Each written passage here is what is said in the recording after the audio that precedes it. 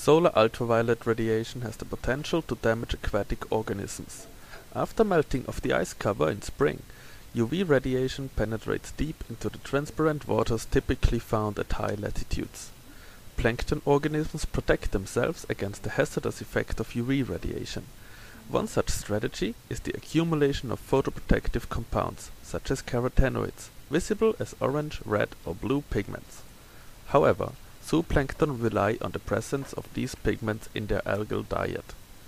Seasonal patterns of zooplankton pigmentation suggest that besides UV radiation, other factors such as diet quality play a role.